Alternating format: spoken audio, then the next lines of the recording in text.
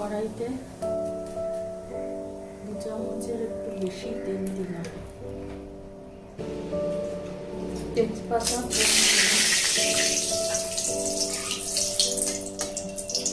রাখা পেঁয়াজ।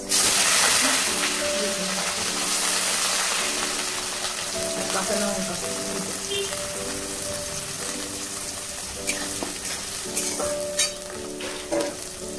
গ্যাসটা একটু বাড়িয়ে দিলাম। একটু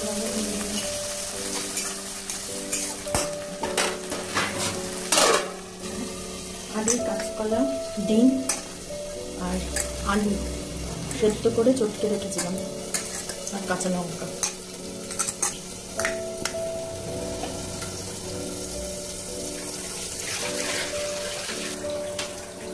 এবার ঢাকাকে সরিয়ে দেখব। পেঁয়াজটাকে। আগে আদা রসুন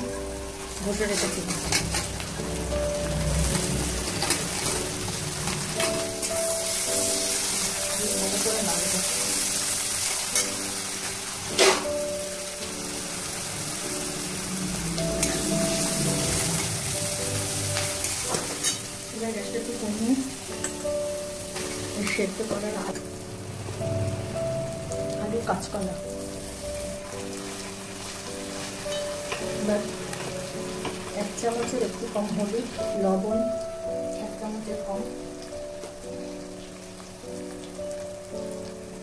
দেড় চামচের মতো দুধের গুঁড়ো। দিয়ে ভালো করে নাড়তে হবে।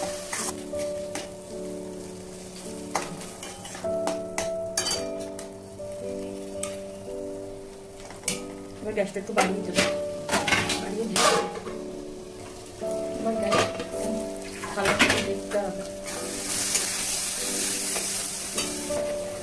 এর মধ্যে। এক চামচের একটু বেশি। চিনি দিয়ে দিলাম।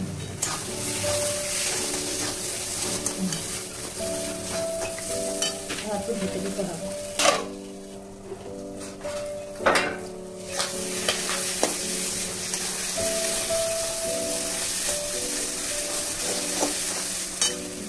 কমিয়ে দিলাম। এবার গরম মশলার গুঁড়ো সামান্য দিয়ে